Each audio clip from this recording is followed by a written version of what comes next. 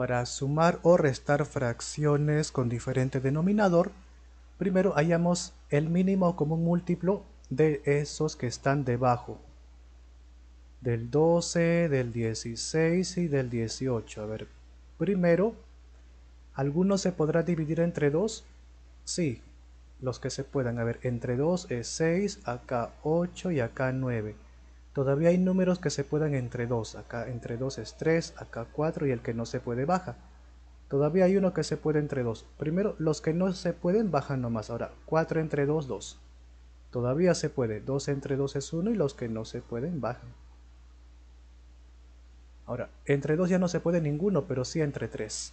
Eh, acá entre 3 es 1, 9 entre 3 es 3 y los 1 solo baja. De nuevo entre 3 porque todavía hay uno que se puede. 3 entre 3, 1. Cuando ya quedaron puros unos al final, ahí termina. Y multiplicamos a este lado. A ver, 2 por 2 por 2 por 2, hasta ahí va 16. 16 por 3 y por 3 queda 144 que viene por acá. Ya está. Ahora, ese mínimo común múltiplo que salió viene por acá debajo.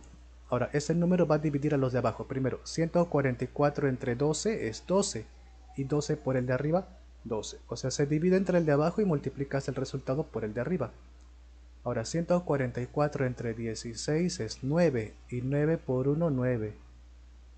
Ahora, 144 entre 18 sale 8 y por 1 8. Abajo sigue igual y arriba sale 29. Listo. Ahora, ¿se podrá simplificar esto? No, porque 144 se podría dividir entre 2 o entre 3, pero el 29 no. Por eso ahí termina.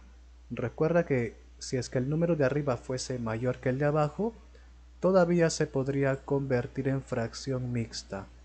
En este caso no, ahí termina, así que respuesta final.